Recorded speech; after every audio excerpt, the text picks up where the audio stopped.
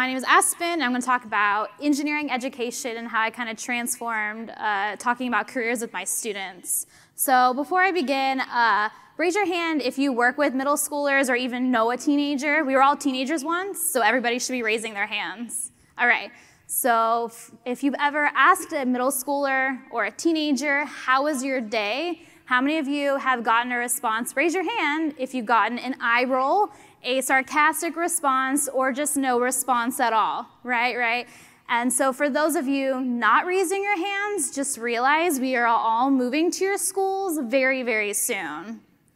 All right, so before I begin the rest of my presentation, I need to put a disclaimer up that I am not a trained educator.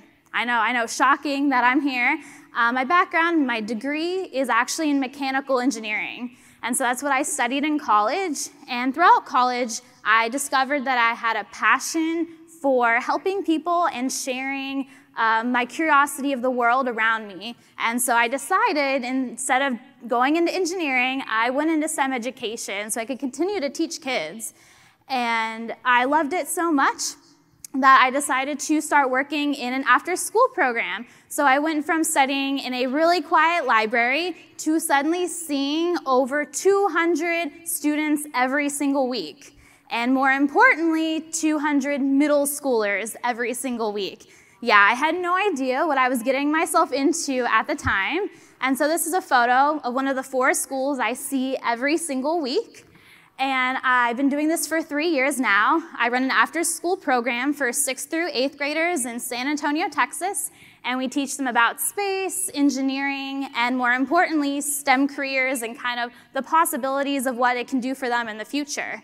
And I still remember my very first semester in this program, and we asked the students, What do you want to be when you grow up? And we got next to nothing for a response. Typical middle schoolers, right? And when we eventually got the answer out of them, we heard answers like basketball player, actor, singer, painter, musician. And what I thought was so interesting is in a room of 70 kids right here who loved science, who decided to spend their time in an after school STEM pro program, still could not envision themselves in a STEM career. So just like any engineer, I wanted to find a solution to this problem.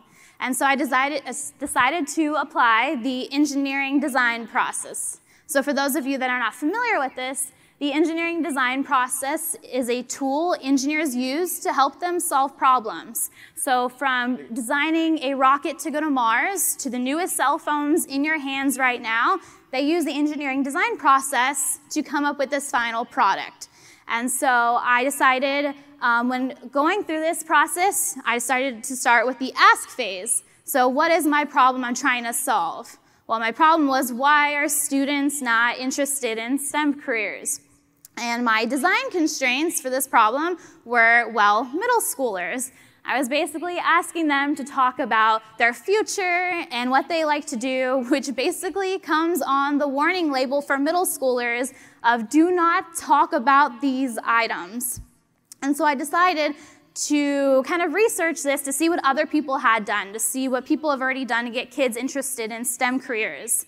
And so, just like any millennial, I went to Google and searched why aren't students interested in STEM careers? And I came up with over 9 million results. And so I scrolled through page after page, read article after article, and one number kind of stuck in my mind. And that number was 65%.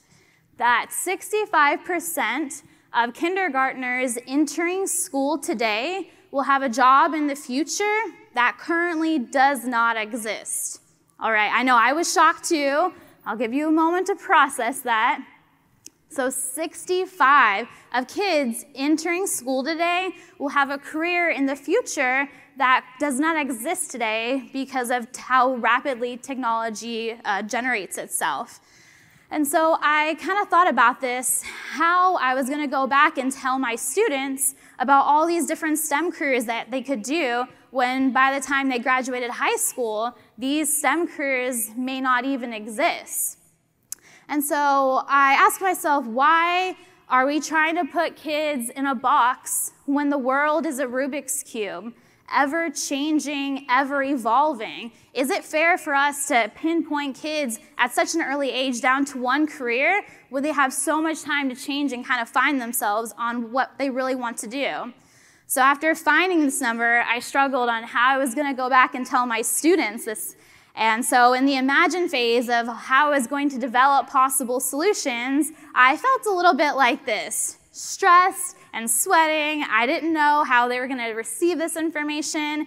And the planning stage, well, that didn't go much better. This was me Sunday night before going to school on Monday. And so I knew that I had to come up with something different and create a different approach into talking about STEM careers that we weren't currently doing. And so that's where I came across, it was Student Sparks. So Student Sparks is a tool that was developed by the Search Institute. And what it is, is talking about if we can get students to identify what they are passionate about, what that spark, what sets the, their soul on fire, that thing that they go above and beyond doing, then we can relate to our students better and kind of help them find a better path in life. It's also been statistically shown that students that have a mentor to help them grow their spark do, what, do better in school and succeed in life. And so I decided, well, why don't we take student sparks and STEM careers and kind of connect them together. So instead of putting the kid in the career, why don't we mold the career to fit the student? And so taking these two separate puzzle pieces, um, when we merge them together, we form a picture of what I envision as our students' best future. Uh, as an engineering major, a lot of people ask me, what can I do to help my students succeed in engineering school, in college, in a science major? And I think why students uh, struggle so much with this is that we get them to pursue engineering because it makes more money, but then they're not doing what they're passionate about. They're not doing what they love at the end of the day. And so they don't have that grit and perseverance that is essential to really succeed in these 21st century jobs. And so I really want to reiterate that STEM careers are not about choosing practicality over passion, but about taking that passion and connecting it into a current career to create something that doesn't exist, to be innovative and really tap into that entrepreneurship that these kids are capable of. So, oh man, I was fired. I was ready to go, take this idea back to my students. And so Monday afternoon, I asked them, you know, what do you like to do? What is your hobby? What sets your soul on fire? And they stared at me like I had two heads. And eventually, when I got an answer, they said two things video games and sports. And I know I'm dealing with middle schoolers, and I should suspect this, but all of my students are so different and unique that I was like, they can't all have the same two sparks. And so I really, I went up and I asked them, is this spark representing who you are at your core? And I just ended up asking them the simple question of who are you? And for middle schoolers, well, this even probably confused them more. But I gave them a couple weeks to think about it, and they started coming in with some really interesting responses. And the first one was claymation. So this is a beehive and bees that one of my students brought in uh, a week later that they created by hand. Uh, which is remarkable. I thought she bought it, but she took time to make this. And so I was like, claymation is obviously your spark. I saw sparks like astronomy, drawing, photography, fishing, and even baking.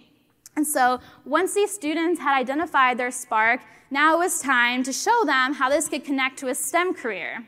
So uh, living in Texas, basketball and football are a really big part of life. And so a lot of kids' sparks were still sports, and that's fine. And so I connected uh, having sports as a spark to being a mechanical engineer.